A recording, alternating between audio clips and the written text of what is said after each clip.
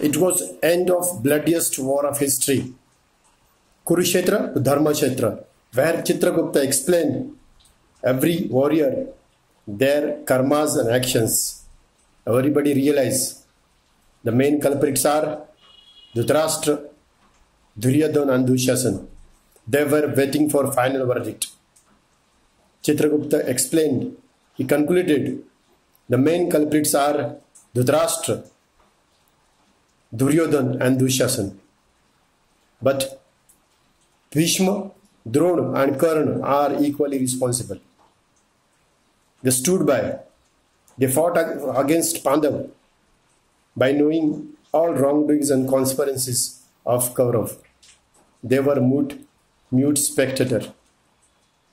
It is not activity of rascal but inactivity of good people who destroy the system. And they were inactive. They select they were selected wrong battlefield. Everybody was shocked except Sri Krishna.